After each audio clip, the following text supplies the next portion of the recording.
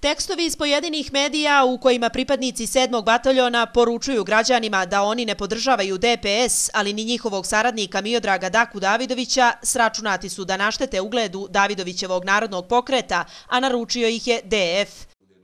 To tvrdi Božidar Buturović, kandidat za odbornika na listi Narodnog pokreta, inače komandir voda i čete 7. bataljona i jedan od komandira redarske službe Demokratskog fronta 2016. godine. Za ovo falsifikovanje ukrivljen lično lider EDF-a, a posebno Andriju Mandića. Jer se bez njegovog dopuštanja u frontu ništa ne sprovodi. A sa ovog spiska koje ste objavili među redarima koje sam ja vodio iz Nikšića, trenutno uz vas imate samo dva pripadnika slovom i brojem.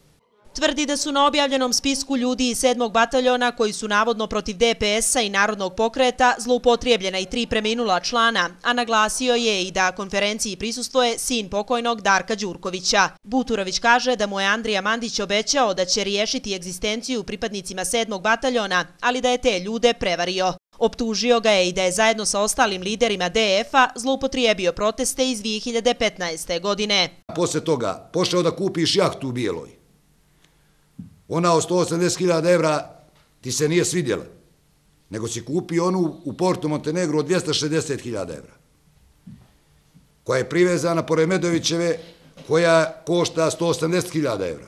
Mandića je podsjetio da je na bojkotovanim izborima u Nikšiću 2017. godine listu Demokratskog fronta trebalo da predvodi upravo lider današnjeg narodnog pokreta. Na kraju je otkrio da je po nalogu Mandića 2016. i 2017. godine išao da razgovara sa Branom Mićunovićem i najavio da će tek pričati o, kako je rekao, nepočinstvima lidera DF-a.